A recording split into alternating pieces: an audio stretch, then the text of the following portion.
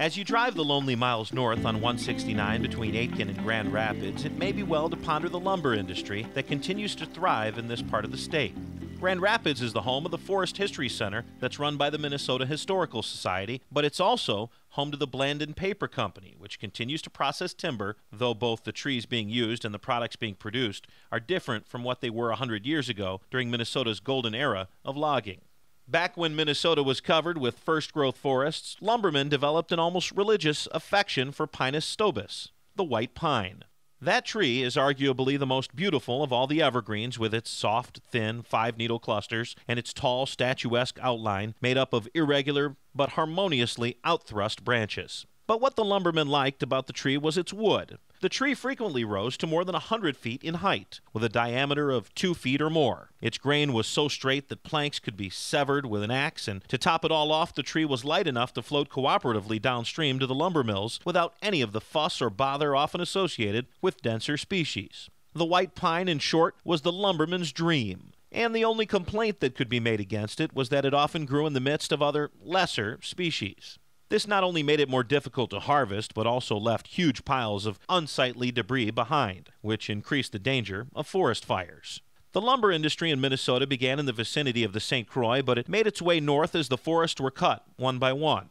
In time, Minneapolis became the state's chief lumber city, milling logs that had been rafted down the Mississippi to supply the planks that built the cities of the Midwest. Bismarck, Omaha, Sioux Falls, as well as the cities burgeoning on Minnesota's own western prairies. A large portion of the timber was rafted all the way to St. Louis before being cut. In 1882, St. Louis received 160 million board feet of uncut white pine from the upper Mississippi. By 1890, the population of the Twin Cities itself had skyrocketed to a quarter of a million people, and that also required a lot of new boardwalks and housing.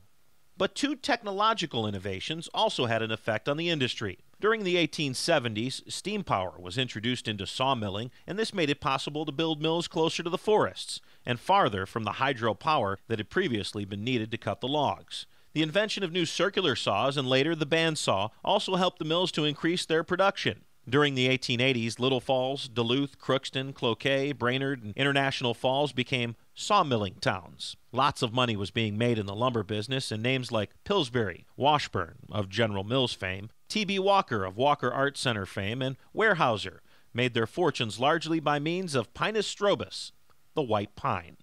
The golden age of Minnesota lumbering extends roughly from 1890 to 1910. During this period, as rail lines probed deeper into the forests, the railroads assumed an ever increasing role in moving logs to market. Over 20,000 lumberjacks were employed in the northern parts of the state in those days, and twice as many worked in the state's sawmills and other wood production factories. The industry peaked when 2.3 billion board feet of Minnesota lumber was cut and processed. Such rampant deforestation was not without its disastrous side effects, however, and deadly forest fires raged through Hinckley, Chisholm, Baudette, and Cloquet at one time or another, often as a result of the waste trees and scrub that the lumbermen left in their wake. Historians estimate, in fact, that more forest lands were destroyed by fires than by logging during that bustling age. Eventually, the virgin forest gave out entirely, and sawmills began closing down one after the other. The last log drive in Minnesota went north down the Little Fork River in 1937. You can watch it on film at the Forest History Center in Grand Rapids. But that is not the end of the story. Following a half century of decline, the timber industry regained momentum during the 1980s as a result of changes in the wood fiber industry. A variety of products made from softwood chips and improved synthetic glues became widely used in the construction of houses and other structures. The market for paper products also increased, and capital investments in lumber mills, which in Minnesota had been less than $600 million between 1975 and 1985, more than doubled to nearly $1 billion in the five years between 1985 and 1990. The state's timber harvests increased during the same period from 2.2 to 3.7 million cords.